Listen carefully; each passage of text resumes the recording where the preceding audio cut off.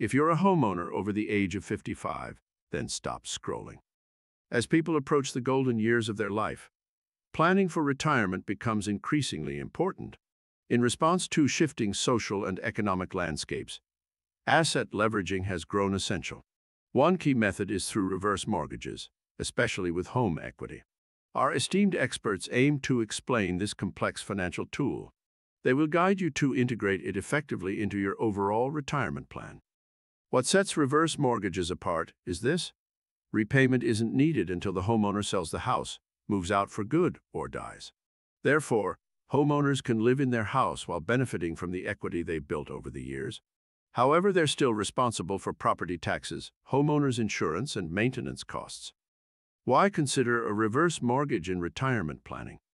According to our financial experts, there are a few reasons why considering a reverse mortgage might be a good move. Supplemental income.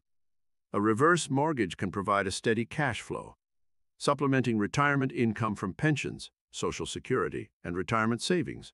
This additional income stream can help retirees maintain their lifestyle or cover unexpected costs. Flexibility. Reverse mortgage proceeds can be received in various ways, as a lump sum, monthly payments, or a line of credit. This flexibility allows retirees to tailor the income to meet their needs. Loan repayment. A reverse mortgage doesn't require monthly payments. Instead, the homeowner repays the loan balance, which includes the borrowed amount plus interest, when they leave the home. Non-taxable income.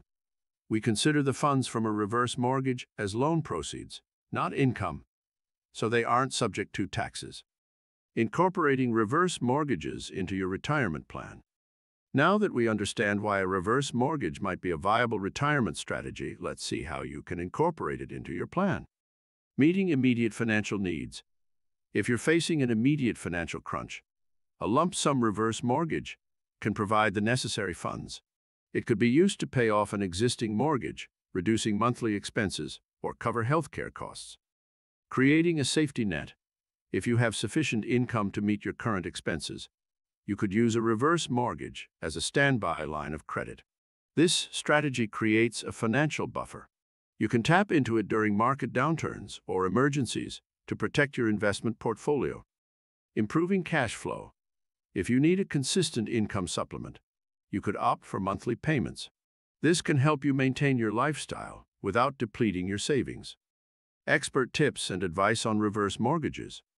While reverse mortgages can be beneficial, they are not without potential pitfalls.